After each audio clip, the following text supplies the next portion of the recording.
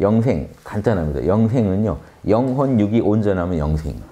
그래야 영생이에요. 이 기독교 개념에서. 육은 하느님이 우리를 창조할 때 영혼 육을 창조했기 때문에 영혼 육이 온전하지 않으면 온전한 영생을 못 돼요.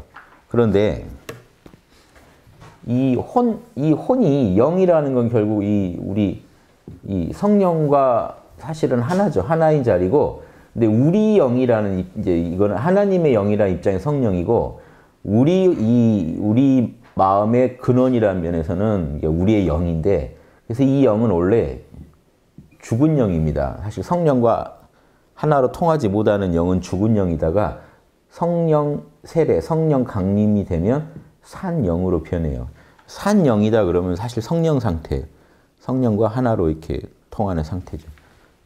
이, 이 영은 지금 성령이 이제 여기에 감응해야 될 자리고요.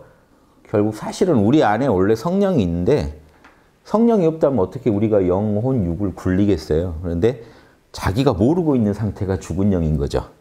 성령을 모르고 있는 상태가. 근데 알면 산 영이라고 불러요. 그래서 내 입장에선 영이라고 하고 하느님 입장에선 성령이라고 합니다.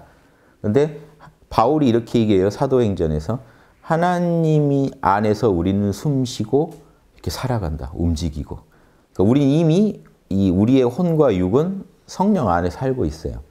그런데 자신의 그게 이제 자신의 이, 이 영 차원에서 이해가 안 되면 죽은 영이라고 하는 거. 그게 내가 성령으로 살고 있구나 하는 것을 확실히 아시면 이제 성령 체험을 하신 거고 그러면 산영으로 변합니다.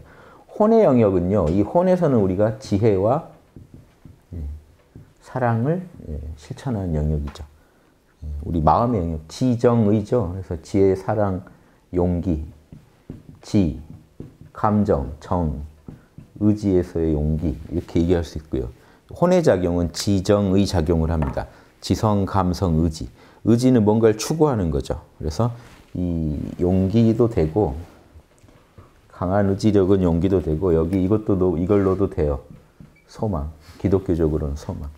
의지는 추구죠. 그래서 지혜, 진리 안에서 살아가고요. 사랑, 이웃을 내 몸처럼 사랑하고 소망, 영생을 소망하는 겁니다. 예, 그럼 이 혼이 이렇게 아름답게 변하는 거예요. 이해되시죠? 그래서 결국 성부와 성자의 차이는 뭐죠? 성자는 이 영, 이 성령에 따라 혼, 혼을 쓰고 육까지 완성시키는 이게 영생이죠. 그래서 예수님처럼 영생하면 된다. 예수님이 영생의 모범이 돼주신 거예요. 그래서 예수님은 살아계실 때 이미 영생을 이루신 거예요. 죽은 뒤에 부활했냐 안 했냐는요 벌써 다음 문제예요. 그거는 사람들한테 보여주는 거지 실제는요 살아서 이미 영생을 하셨어요. 왜? 본인이 벌써 요한복음에서 나를 믿는 자는 사망을 겪지 않고 심판을 받지 않고 그대로 영생한다고 그랬어요. 근데 본인이 못 하셨겠어요? 이미 하셨어요. 그러니까 죽은 뒤에 살아났냐 아니냐는 되게 이건 일, 이 그냥 일반인적 관점이에요.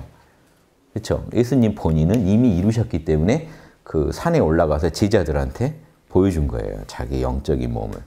그리고 영적인 몸을 이룬 영생을 얻었던 모세와 엘리야 같은 과거 선지자들과 함께 서가지고 대화 나누면서 또 이제 그 앞으로 이제 겪을 일도 얘기하면서 제자들한테 보여준 거예요.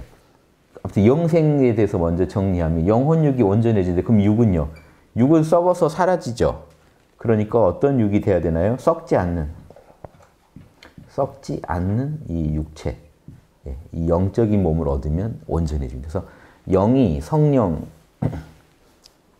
하나가 돼야 되고 혼 차원에서는 지혜, 사랑, 소망이 온전해져야 되고 그리고 이 그러니까 이게 이거 이거 자체가 사실 믿음이 믿음이 온전해진 게 되죠. 사실 혼 차원에서 믿음이 온전해질수록 그 믿음을 통해서 성령과 하나가 되고 성령 속에서 사랑, 지혜, 또 올바른 소망을 품게 되는데 이거를 많은 사도들이 이거를 양심을 통해서 이렇게 된다고 얘기합니다. 이 혼이 영과 하나가 되는 순간 이 혼이 영하고 함께 영과 함께 공명하게 되면 이 혼이 어떻게 돼요? 양심이 돼요.